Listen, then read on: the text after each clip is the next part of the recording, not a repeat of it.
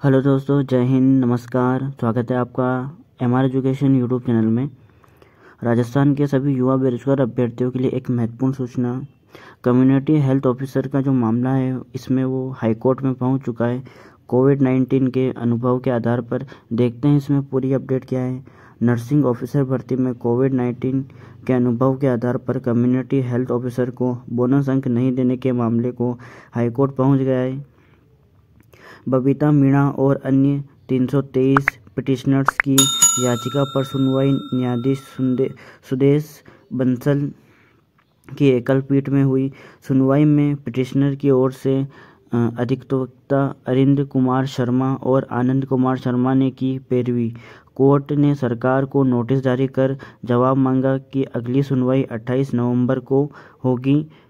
उधर community health officer federation के अध्यक्ष भरत बेनीवाल ने बताया है कि कोविड 19 में विभाग के आदेशों से नर्सिंग ऑफिसर के पद पर अभ्यर्थियों द्वारा चार माह का कार्य करने के बाद भी मुख्यमंत्री द्वारा घोषित कोविड 19 के नर्सिंग ऑफिसर भर्ती में पंद्रह बोनस अंक नहीं दिए गए, जो कि गलत है।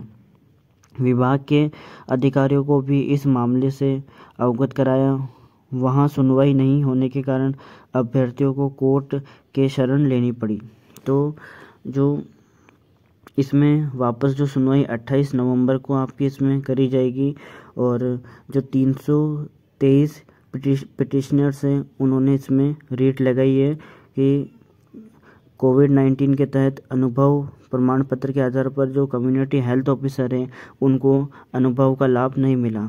तो इस प्रकार से जो कम्युनिटल हेल्थ ऑफिसर भर्ती है, उसको लेकर एक महत्वपूर्ण अपडेट थी। वीडियो पसंद आया दोस्तों, वीडियो को लाइक कीजिए, चैनल को सब्सक्राइब कीजिए इस लेटेस्ट अपडेट हम आपके लिए लाते रहते हैं।